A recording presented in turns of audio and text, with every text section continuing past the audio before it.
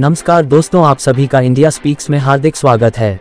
राजकीय महाविद्यालय में प्रवेश प्रक्रिया शुरू होने से छात्रों को मिलेगी सहूलियत। महाविद्यालय में प्राचार्य सहित चौदह प्रवक्ताओं ने किया ज्वाइन कलिंग। नवदिया धनेश में स्थित राजकीय संतक महाविद्यालय में शिक्षण कार्य शुरू होने से लंबे समय से प्रवेश प्रक्रिया के लिए आस लगाए बैठे छात्रों के लिए अच्छी खबर है।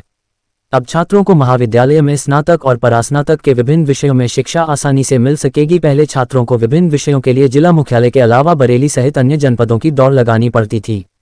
अब क्षेत्र में ही महाविद्यालय शुरू होने से लोगों में काफ़ी खुशी देखी जा रही है। महाविद्यालय में प्राचार्य के अलावा लगभग चौदह शिक्षकों ने ज्वाइन कर लिया है। पूरनपुर कलिंग मार्ग पर नवदिया धनेश के पास विधायक बाबूराम पासवान के प्रयास से तीन एकड़ ज़मीन में बने महात्मा ज्योतिबा फुले रुहेलखंड यूनिवर्सिटी से संबंध संतक राजकीय महाविद्यालय का निर्माण लगभग नौ करोड़ से अधिक धनराशि से हुआ है। इस क्षेत्र में राजकीय महाविद्यालय होने से छात्रों को पूरनपुर पीलीभीत के अलावा बरेली की दौड़ लगानी पड़ती थी। यहाँ छात्रों को बीए में इतिहास, अर्थशास्त्र, राजनीति, विज्ञान हिंदी, अंग्रेज़ी, समाजशास्त्र, गृह विज्ञान व शारीरिक बीकॉम में वाणिज्य एमए में इतिहास, राजनीतिक विज्ञान, हिंदी, अंग्रेज़ी, समाजशास्त्र एमएससी में जंतु विज्ञान, रसायन विज्ञान, वनस्पति विज्ञान और एमकॉम में बैंकिंग मार्केटिंग और वित्त की शिक्षा मिल सकेगी।